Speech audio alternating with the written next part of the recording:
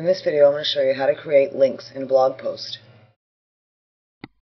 Click on the name of the site you want to work on. Click on Modules. Click your blog module. Click on Posts and Comments. Click Edit Post on the post you want to add links to. Scroll down to the Content field. Here you can either type in some text and then click Insert Link, or you can just click Insert Link. Here you'll see you have several options to choose to link to. Let's choose File. Let's link to the Content Writing PDF. Click on the file you want to link to, and then click OK at the bottom. You'll notice because we didn't put any text to link to, this link took on the name of the exact file.